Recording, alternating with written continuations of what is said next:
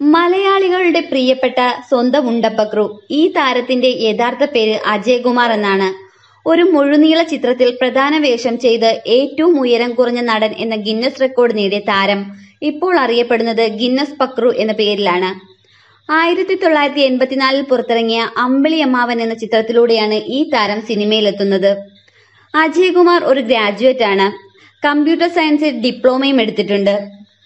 ഒരു മിമിക്രി ആർട്ടിസ്റ്റായാണ് താരം തന്റെ കരിയർ ആരംഭിച്ചത്. കൊല്ലം ജില്ലയിലെ മുളവനെയാണ് താരത്തിന്റെ സ്വദേശം. ആയിരത്തി തൊള്ളായിരത്തി എഴുപത്തി ആറ് ഓഗസ്റ്റ് ഒന്നിനാണ് ജനനം. അച്ഛൻ രാധാകൃഷ്ണപിള്ള അമ്മ അംബുജാക്ഷി അമ്മ. ഈ നടന് രണ്ട് സഹോദരിമാർ കൂടിയുണ്ട്. കവിത ആൻഡ് സംഗീത. രണ്ടായിരത്തി ആറ് മാർച്ചിൽ ഗായത്രി മോഹനെ വിവാഹം ചെയ്തു. ഈ ദമ്പതികൾക്ക് ദീപ്ത കീർത്തി എന്നൊരു മകളുമുണ്ട്.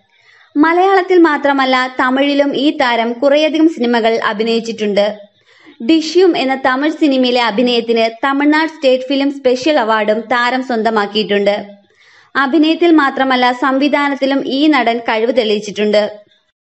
അത്ഭുത ദ്വീപിലെ അഭിനയത്തിന് കേരള സ്റ്റേറ്റ് സ്പെഷ്യൽ ഫിലിം അവാർഡും ലഭിച്ചിട്ടുണ്ട്.